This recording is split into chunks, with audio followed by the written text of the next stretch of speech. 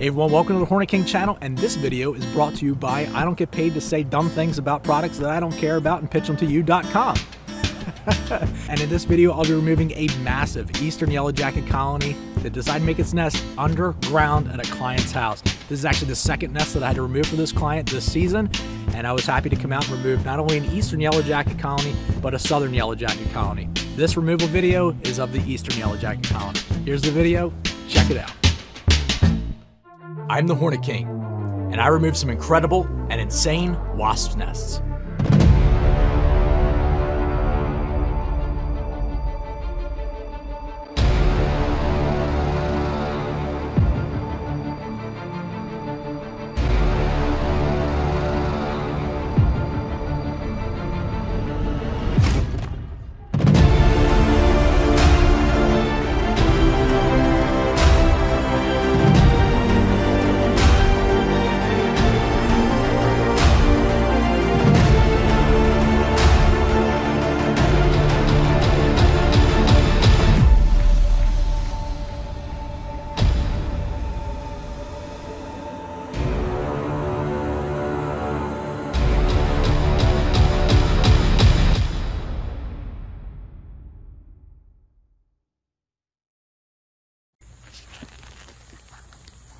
The customer here has looks like Eastern yellow jackets.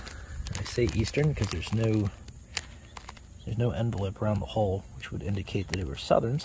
Client here who has Southern yellow jackets in the ground. You can always tell when they're Southern because they cake the entranceway with envelope. It's one of the only species that I deal with that actually do this when they make a ground nest.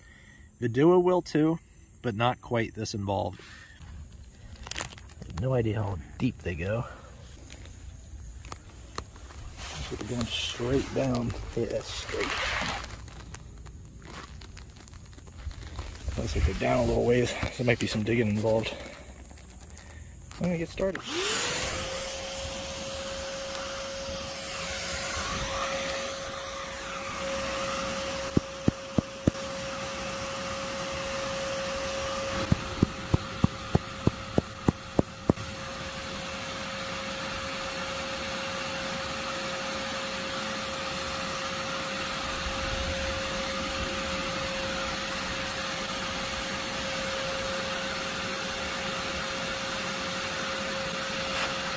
nails coming out of there.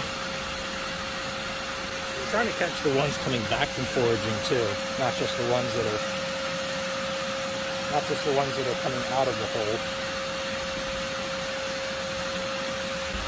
Sure species this is, we'll see. Um, Eastern yellow jacket for sure. That one has a little anchor on the back. Just trying to catch the ones coming back from foraging, not just the ones that are coming out of the hole, the ones coming back from foraging as well. And people will say, why don't you just put the nozzle like down in the hole like this? And that works. It does get some of them, but it doesn't include the ones coming back from foraging. It doesn't suck them up. So that's why I always put it kind of to the side here and do this.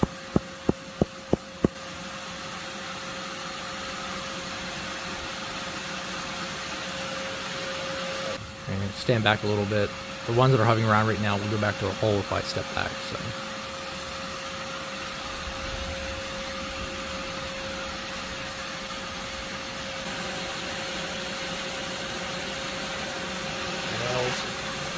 Quite a few nails have come out of here so far.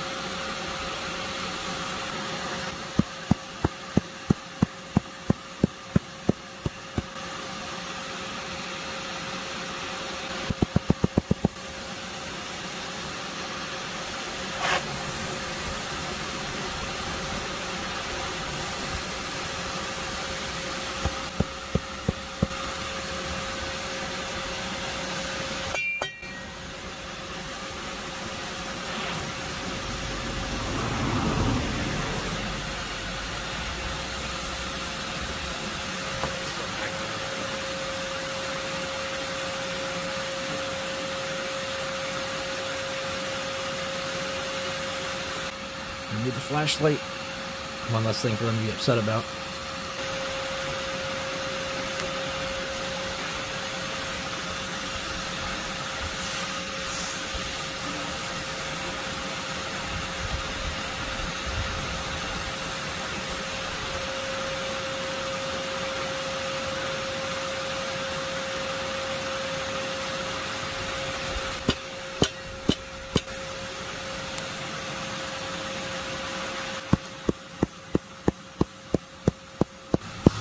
I'm just going to kind of guess this is where the nest is. Sounds pretty hollow to me. So.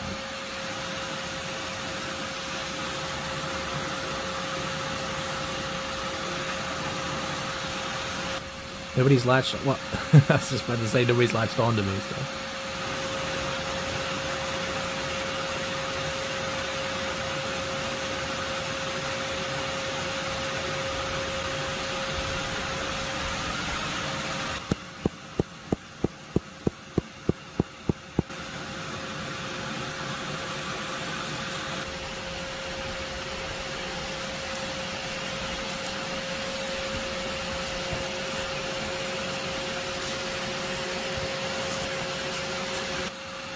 Try to stay away from the hole if I can help it.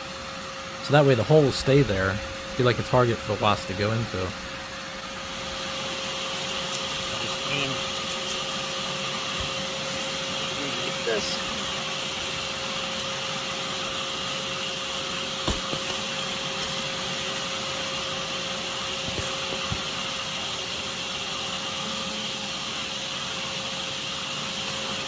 Oh yeah. Pretty sure I just went right into the top of it. Felt pretty soft right there.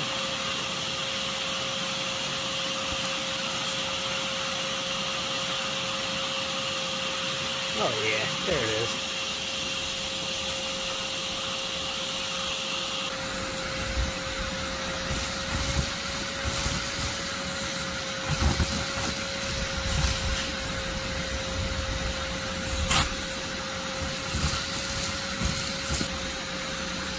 This is nice about leaving that hole like that.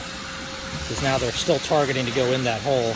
They'll go in there and they'll get disturbed and they'll come out this big hole where I can vacuum them up.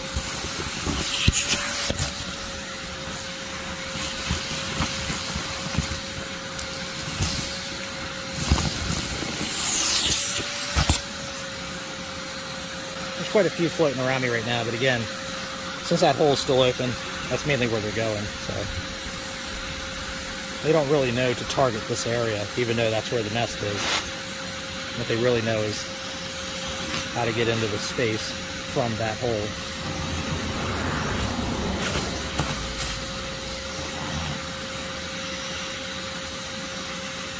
There's quite a few around here right now. Quite a few here. Really going down in here. There's the top of the nest. Let me get light on.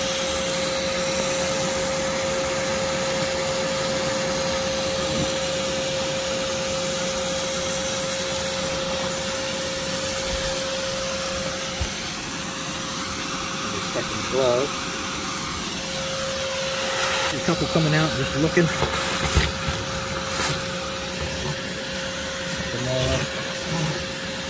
So don't worry about the ones that are coming out of the hole right now, because they're gonna go, they're gonna come out, they're gonna swarm me, and then they're gonna go right back down this way. Don't have to worry about that. It's always such a concern for people who watch the videos, like, oh, you're missing them. No, not missing them. They're not flying away. They're staying right in this area. They're swarming around right in here. And then they go back to the entrance way and get sucked up. No big deal. Of course, there's a root right there.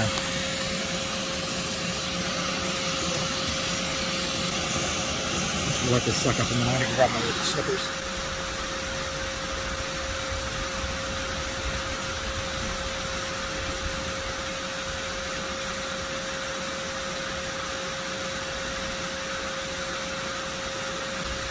that short amount of time, a significant amount of the numbers have decreased. Looks to be a root right there. I'm going to snip that back. And do that, all those ones that are coming around are going to come out.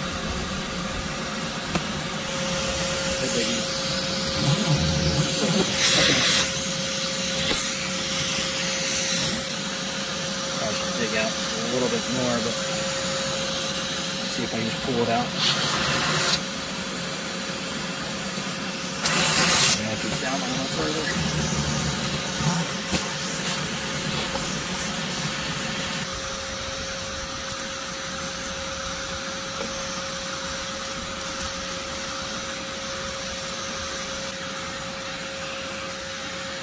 This ground is just so dry. We haven't had a good rain in probably over a month.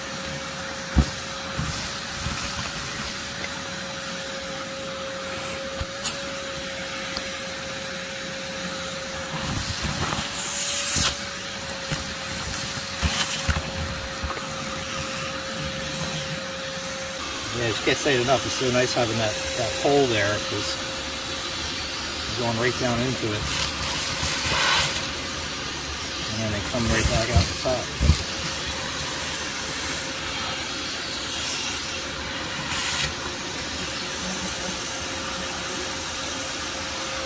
Still quite a few floating around here. Vacuum's over there. There's a couple over there, not too many. Mainly right here at the entranceway.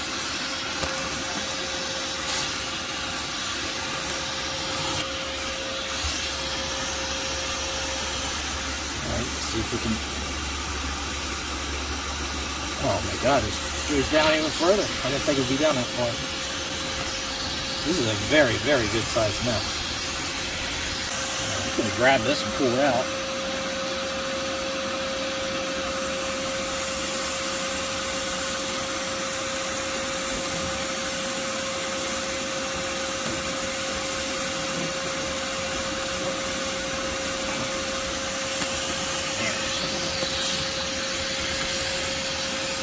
Get it out of. That's what she said. It.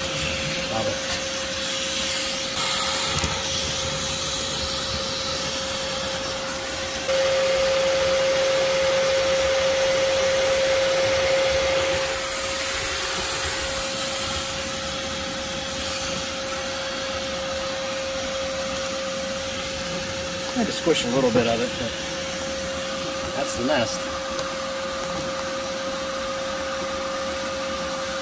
Definitely good size. It's down the cavity, obviously. So uh, they dug all this out. I mean, this isn't like a, there was a cavity here. Like they dug out this cavity to make room for this nest.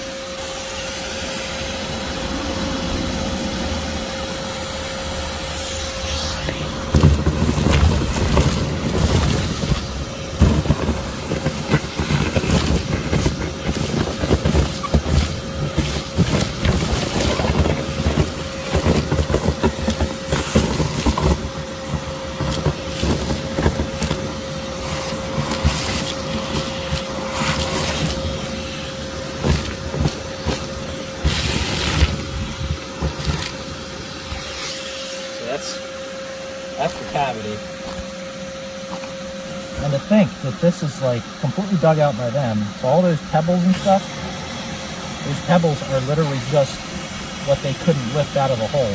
So they just drop down to the bottom. Crazy.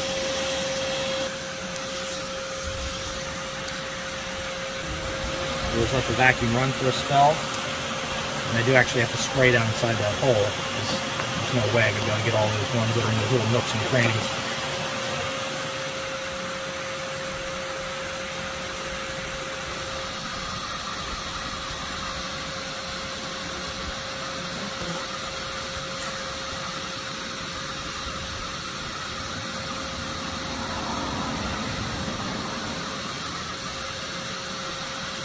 I feel somebody's staying wet. Oh yeah, there is some stinging. Like, yeah, what's that stinging feeling? But I didn't think somebody could get my leg like that. Somebody did. Somebody crawled down and got right through the suit. Put that in there. Bag it up. Have to let this run for a little bit and try to get some of the one of the ones out of the bottom here. Pretty much just going to spray down there. They can be all kinds of little nooks and crannies. You have to remember this is a rodent tunnel, so there's all kinds of little chasms and stuff for them to get into.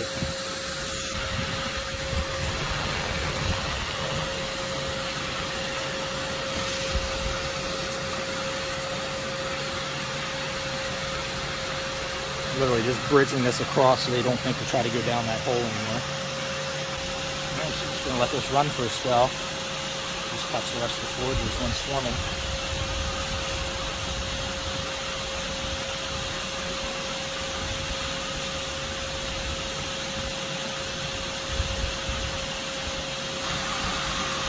These have been running for about, I don't know, 10 minutes.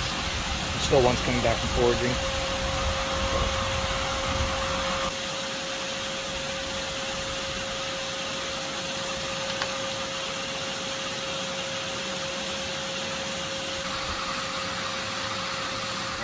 So I am bushed.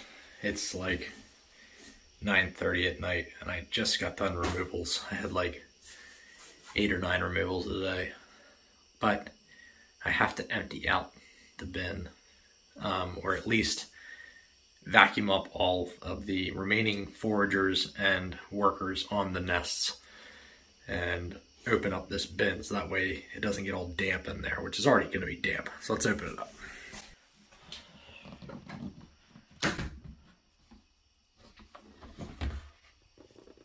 This is inside the bin. That's a male baldy. Ugh, there's just so much to go through in here. So might as well get started now.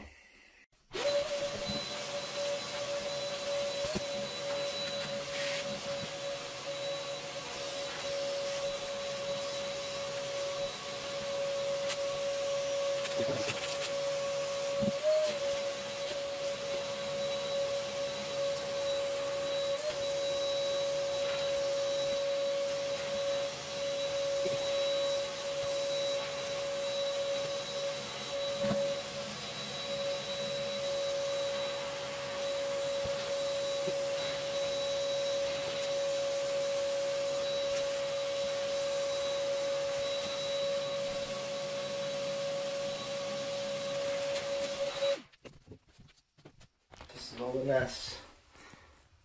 Bald-faced hornets, as you can see on there on the wall.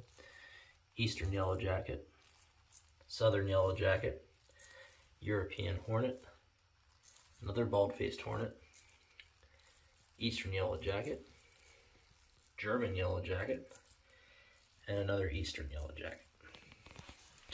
So this southern was in the ground, baldy was in a, on the side of a house, that was in the ground.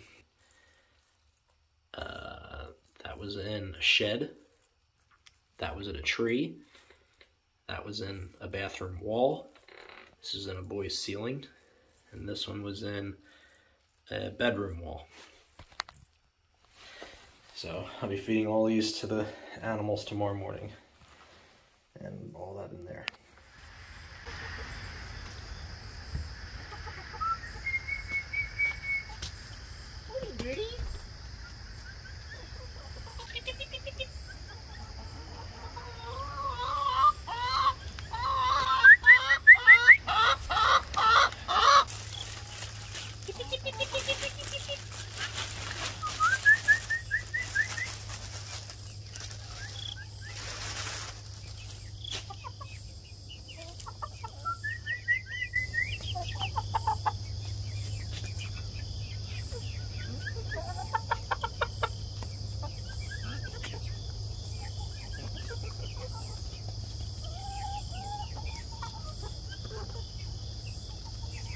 Stinky birdie. You're stinky birdie.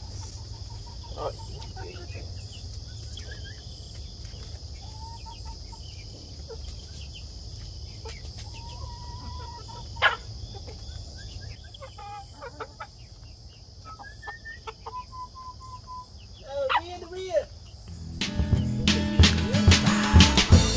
All right, everyone, thank you so much for tuning in to check out this video. If you guys enjoyed this content, drop in the comments, let me know what you think.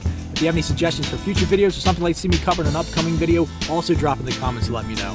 If you guys haven't subscribed already, please consider doing so and hit that bell notification down below, and that way you guys get an update anytime I do post a video. All right, everyone, thank you so much for tuning in to check out this video and supporting my channel, and I'll catch you on the next one.